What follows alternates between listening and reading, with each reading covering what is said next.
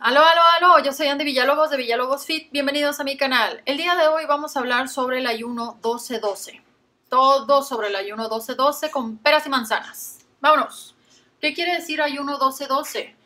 12 horas para ayunar, 12 horas para comer. El día tiene 24 horas, entonces lo divides en dos. En estas 12 horas para ayunar, ¿vas a contar las horas de sueño? Por supuesto que sí, porque cuando estás dormido, estás en ayuno. Ahora, ¿cuál es el mejor horario? ¿De qué hora a qué hora? ¿Que de las 7 a las 7? No, otros dicen que de las 6 a las 6, otros... No importa. Lo que sea que se adecue a tu vida, eso haz. Si tú quieres comer de las 10, si tú quieres que tu primera comida sea a las 10 de la mañana y tu última a las 10 de la noche, haz eso. Si tú trabajas en la noche y por lo tanto estás despierto toda la noche y dormido todo el día, ah, pues adecua esto a tu vida. No es cierto eso de que, ay, no, yo te voy a decir las mejores horas, compra mi programa. No, oigan, no, ayunar es gratis, no me frieguen. Ok, ¿cuántas comidas al día? Tres comidas al día si tú eres una persona que cuenta calorías, yo no cuento calorías, ¿eh? así que no me vayan a mandar consulta de, oye, tantas calorías, ¿cómo las divido? No, pero si tú cuentas calorías, si tú cuentas macronutrientes, ¿cómo vas a dividir? Porque ahí se, se complica demasiado la existencia también. Divide como tú quieras, deja de complicarte tanto la existencia. Si a ti te gusta tener un desayunote, pues desayúnele, mijo. Si ¿Te gusta cenar muy ligerito? Ah, pues cena ligero. En cambio, al revés, a lo mejor a ti te gusta desayunar ligero, comer dos, dos ahí más o menos y cenar pesado. Pues hazlo, ¿ok? Yo entiendo que esto va en contra de todo lo que nos han dicho, de todo, pero hay que ser realistas. No todos podemos comer de la misma manera. Entonces, tú divide la cantidad de comida que comes durante todo el día en estas tres comidas. Ahora, cuando digo que solo son tres comidas al día, son solo tres comidas al día. Desayuno, comida y cena. Nada de andar picando ahí entre comidas o la mendiga, esta colación. No tiene la menor idea de cuánto aborrezco esa palabra. Porque pienso en todo excepto comida. Ay, me toca la colación. No sé por qué se escucha como una lavativa. Pero bueno, ese no es el punto.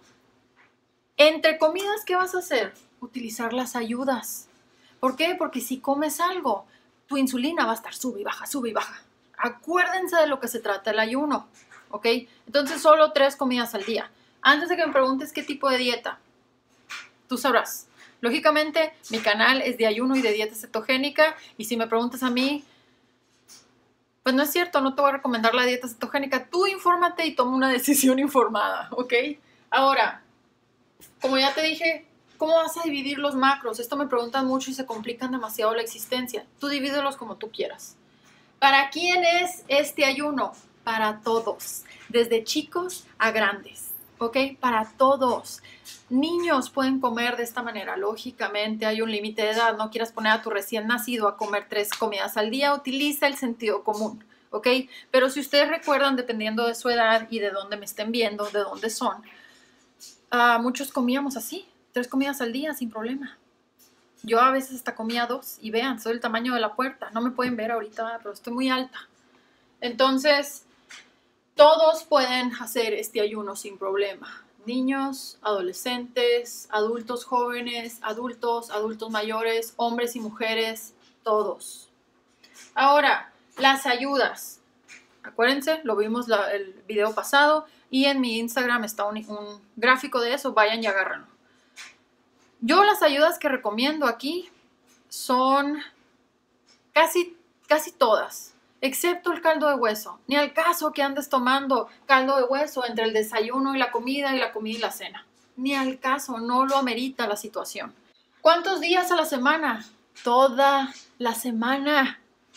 Créeme, va a llegar un momento donde se te va a dar como si nada hacer ayuno de 12-12 con tres comidas al día, siete días a la semana. ¿Cuánto tiempo lo vas a hacer? Hasta que lo domines y solo lo vas a incrementar si tu situación lo amerita, si tienes daño metabólico. Si no, ¿para qué? ¿Ok? ¿Para qué? Pero bueno, ¿cómo vas a saber cuándo lo vas a dominar? Cuando llegues ya sea al desayuno o a la cena y que no tengas hambre. A lo mejor te levantas, ahí vas al trabajo tú y tú, sabes que no tengo hambre si no tienes hambre, no tienes por qué obligarte a comer. Ya se van a decir, el, el desayuno es lo más importante. No es cierto. ¿Ok? Ese es un marketing. Ya voy a empezar yo con mis teorías de conspiración, pero es un marketing eso, ¿ok? Ni al caso. El desayuno no es lo más importante, para nada. Eh, han hecho estudios donde comprueban que la grelina está en lo más bajo, en los niveles más bajos durante la mañana. Por eso es tan normal que haya personas que no quieren desayunar, que no, no tienen hambre. Y hay unos que se están obligando ahí a desayunar. Entonces, eso es el ayuno de 12-12. Platícame cuánto tiempo lo hiciste tú, si lo hacen tus hijos, si lo hacen tus abuelos, si a lo mejor así creciste, si te quedaste en ese ayuno o lo incrementaste, yo qué sé, ¿ok?